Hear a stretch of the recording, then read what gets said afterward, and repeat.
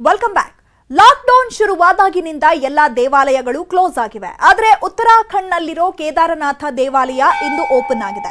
ಬೆಳಗ್ಗೆ ಆರು ಗಂಟೆ ಹತ್ತು ನಿಮಿಷಕ್ಕೆ ದೇವಾಲಯದಲ್ಲಿ ಪೂಜೆ ಮಾಡಲಾಗಿದೆ. ದೇವಾಲಯದ ಪ್ರಮುಖ ಪುರೋಹಿತರು ಹಾಗೂ ಸೀಮಿತ ಭಕ್ತರ ಸಮ್ಮುಖದಲ್ಲಿ ಇಂದು ಪೂಜೆ ನಡೆದಿದೆ. ಮೊದಲ ಪೂಜೆಯನ್ನ ಪ್ರಧಾನಿ ನರೇಂದ್ರ ಮೋದಿ ಹೆಸರಿನಲ್ಲಿ ಮಾಡಲಾಗಿದೆ. ಆದರೆ ಕೊರೋನಾ ವೈರಸ್ ಅಟ್ಟಹಾಸ ಮಾಡ್ತಿರೋ ಹಿನ್ನೆಲೆಯಲ್ಲಿ ಭಕ್ತರಿಗೆ ದರ್ಶನದ ವ್ಯವಸ್ಥೆ ಕಲ್ಪಿಸಲಾಗಿಲ್ಲ.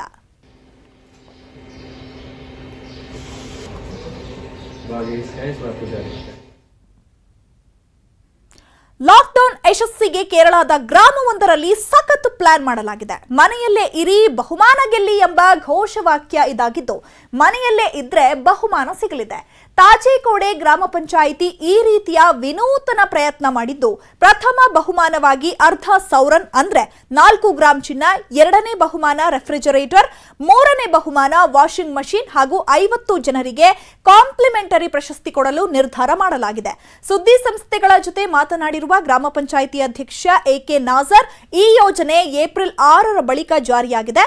ನಮ್ಮ ಪಂಚಾಯಿತಿಯಲ್ಲಿ ಹತ್ತು ಸಾವಿರ ಕುಟುಂಬಗಳಿದ್ದು, ಅವರನ್ನ ಹೊರಗೆ ಬಾರದಂತೆ ತಡೆಯಲು ಈ ಪ್ಲಾನ್ ಮಾಡಿದ್ದೇವೆ ಅಂತ ಹೇಳಿದ್ದಾರೆ.